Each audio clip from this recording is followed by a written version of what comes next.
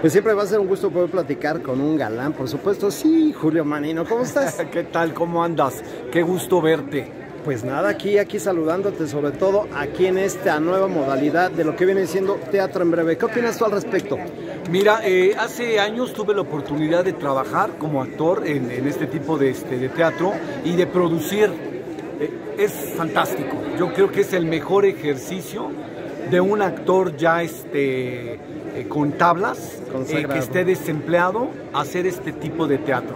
Contar una historia en 10, 15, 20 minutos, eh, hacerla con verdad, obviamente, porque ese es el trabajo del actor, pero tener al público pegado a ti, casi tropezando, casi besando al público, este, es, no tiene precio.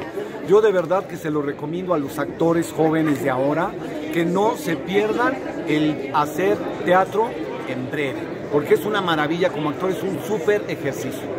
Hace unos meses, el año pasado, para ser más exactos, Eugenia León me decía que el teatro en México ya ha bajado mucho, el consumo de la gente ya no asisten mucho. ¿Qué opinas tú al respecto? ¿Cuál es tu punto de vista?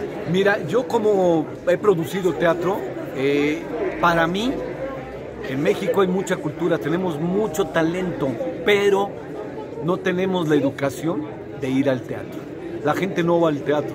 La gente si va al teatro va por moda, va porque este, vino de Estados Unidos, vino de Europa y entonces pagan millones de pesos, este, bueno, no exagero, 5 mil, 8 mil pesos por un boleto y dices, no pueden pagar una entrada de 300, 400 pesos. De verdad, yo creo que es no es falta de cultura, es falta de educación. No tenemos en México la educación de ir al teatro y la verdad es vergonzoso porque tenemos cultura, hay cosas muy buenas, muy bien producidas, muy bien actuadas, muy bien dirigidas. Los teatros que tenemos son de primera. Entonces yo invito a la gente que vaya al teatro, que consuma el teatro. Lo tenemos aquí y es muy barato. Julio, eh, tercer mes, marzo 2024, laboralmente, ¿cómo estás ahorita, ya avanzando el año? Acabo de terminar una participación especial con este, Angeli Nesma, que es mi productora con la que siempre he trabajado. Ahora me invitó a trabajar en un personaje pequeño en la historia. No hay personajes pequeños, pero bueno, este, en las historias hay personajes grandes, personajes cortos de historia y bueno, me tocó hacer esta vez un personaje corto en Mi vida es tu vida. Eh, muy contento de seguir trabajando con Angeli, que me siga llamando. Yo agradecidísimo. Este, y lo acabo de terminar la semana pasada. Entonces, pues nada, esto así es, ¿no? Este, en la vida del actor es siempre estar eh, listo porque el trabajo que uno hace dura una semana, 15 días, 6 meses, dependiendo el, el proyecto, y estar listo, eh, todos los días se comienza eh, nuevamente, ¿no? Entonces, tengo 35 años ya en esto, entonces, mira, antes sí me pesaba, me dolía mucho quedarme sin trabajo, pero con los años este, uno va aprendiendo y va entendiendo que, este, que así es el trabajo del actor. ¿no? Julio, dime una cosa, este proyecto, este nombre, Mi vida es tu vida, ¿qué es Mi vida es tu vida para ti?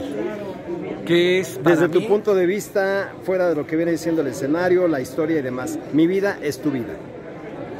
Pues no sé, eh, amorosamente, mi vida es tu vida cuando uno ama a alguien este, sinceramente y está entregado emocionalmente con una pareja, pues mi vida es tu vida, ¿no? Y tú y yo somos lo mismo, somos todo.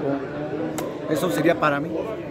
¿Cómo estás ahorita en tu vida personal, en el amor? ¿Cómo vas? ¿Cómo estás? De ¿Cómo mi está vida tu vida? personal no hablo absolutamente Feliz, contento. nada. Estoy feliz. ¿Cómo me ves tú? Yo te veo feliz.